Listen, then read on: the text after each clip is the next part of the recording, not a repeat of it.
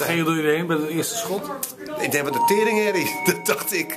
En toen dacht ik, en toen, maar toen zei Hans tegen mij van, ja, vergeet niet, die jongens daar eh, in- aan het front, die hadden gewoon, eh, die waren in het open lucht aan het schieten. Dus die hadden veel minder last van weerkaatsing, wat geluid dan dat we hier hebben. Want het is wel, was wel een enorme herrie dat het ding gaf.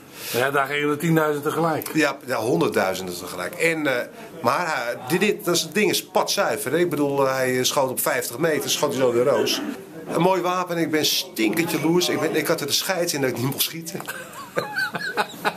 Nou, moet je lid worden. Ja, nee, maar ik had gehoopt van, nou, dat hij had gezegd van, nou, hier, pak hem even, niemand kijkt, schiet maar even snel. Maar dat eh, zat er niet in. Alles werd gecontroleerd. hè? Alles wordt, ja, check, check, dubbelcheck. Hier, de beveiliging hier is uitstekend. Dus wat er gaat, eh, eh, chapeau.